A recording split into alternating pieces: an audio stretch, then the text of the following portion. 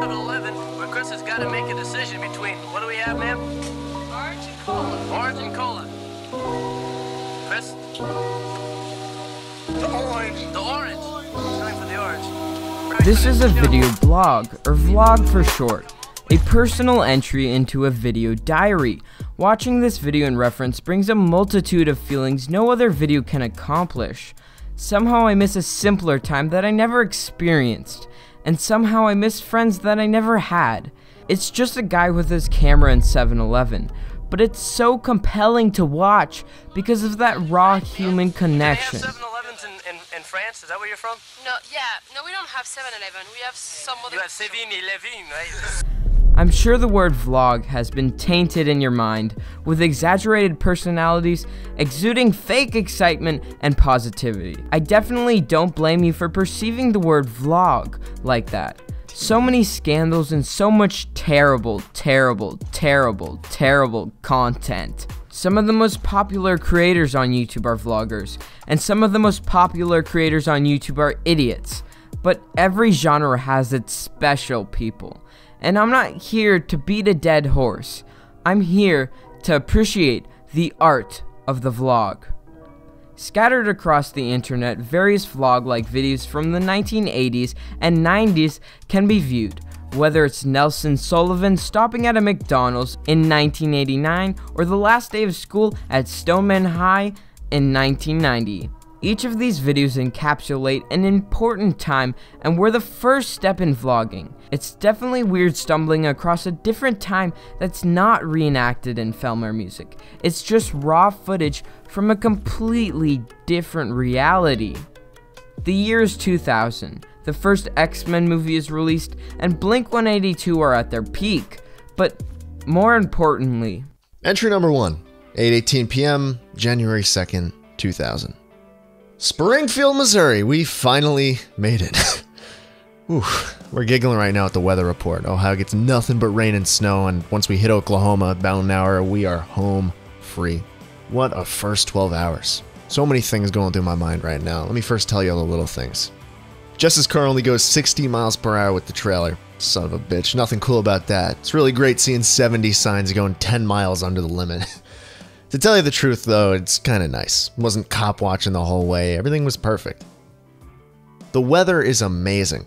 Little rain in Indiana and then nothing but dry roads and 65 degrees. Couldn't believe it. We're in St. Louis in January and it's like LA in March. But that's the good news. We're getting roughly 150 miles on $20 of gas per car.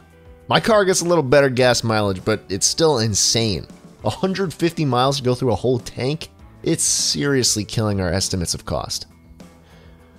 Luckily, we got to fill up for a dollar and seven cents in Cuba, Missouri. That fill up is a bit cheaper. Either way, it's pretty sickening to swipe your goddamn credit card every two and a half hours. Couldn't even get to Indianapolis on our first tank.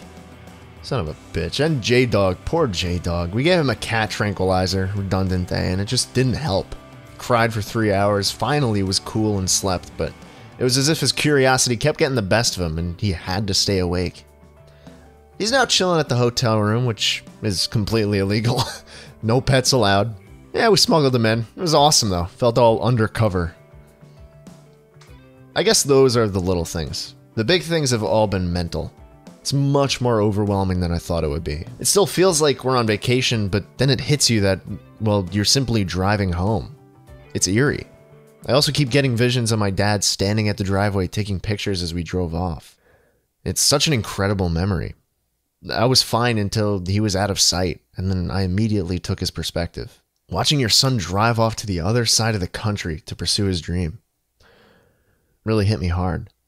Every son tries so hard to live up to his father's expectations, and since we're both in the music field, it's compounded that much more. For the first time, I feel I'm living up to it, and I feel a proudness of accomplishing something huge. This is the hard part. I know I'm going to make everything fall into place when I get there. It's the leaving, the uprooting, the doing. I've accomplished all that. And my dad knows it. Hell, he knows more than I do. But it's a pretty amazing feeling. I'll be very excited to have a child later. so there you go. I feel like I should write so much more since I freaking lugged this computer and monitor into the hotel. This is not a laptop. Then again, it is worth it. There's something about seeing your desktop in a strange place that makes you immediately feel at home. God love the 21st century. Again, feel free to reply with any thoughts that pop into mind. I'll be saving everything. Oh, and here's some compressed footage of us smuggling J Dog into the hotel. Hope you enjoy.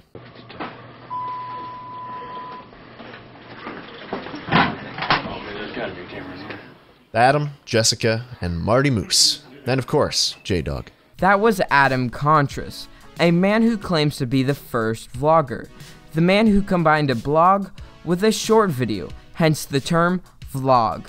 The man that still vlogs today, even though no one watches him or seems to care. The man who started a genre that would take control of the internet in a few years. When YouTube opened its doors to uploading in April of 2005, almost every video was a short vlog.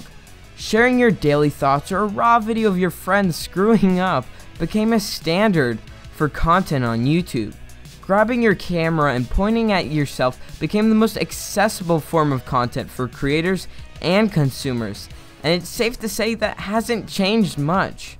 But for vlogs themselves, they definitely have advanced a few light years. Vloggers have always had a presence on YouTube. Different eras have had different prominent vloggers, because as you know, creators come and go. It's unfortunate, but it's the truth. On another note, some individuals have started their extremely successful careers by vlogging in the early 2000s. Bo Burnham, JacksFilms, Zoella, Tyler the Creator, and many more. Vlogging has become an outlet to create content that's entertaining but also a realistic portrayal of life's ups and downs an escape for reality for many viewers by peeking in on someone else's life, almost like you have a friend, as sad as that may seem. So, on another note, where's vlogging now? Well, currently, kind of a rough spot.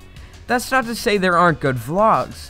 I see vlogs split up into three categories cinematic, comedy, and lifestyle. Often these aspects will overlap in vlogs, but it's not hard to see where creators land on the spectrum. When I say cinematic, I'm referring to creators that do montages like this, or focus on cinematography and editing as a priority.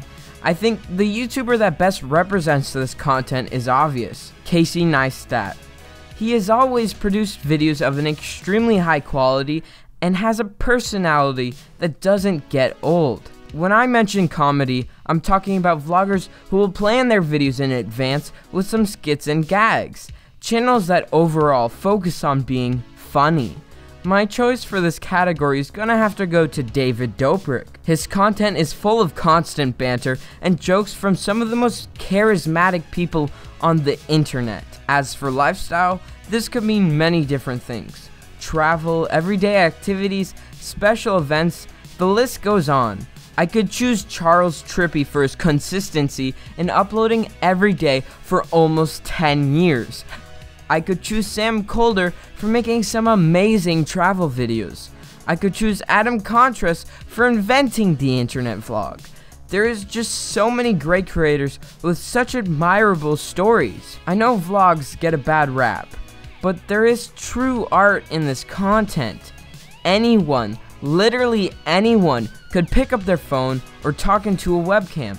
People don't just watch vlogs for entertainment, they watch them to have a friend and experience someone else's life. I know people aren't a fan of clickbait, but at the end of the day, it's the human connection that brings in the views. Thank you for watching. If you enjoyed, leave a like. If you didn't, leave a dislike. Comment something, subscribe, Put on the notifications, please. I have a Patreon. If you want to support, it's there. These are the supporters. And I'd like to give a big thanks to Jay Schlatt for lending his time and his voice to this video.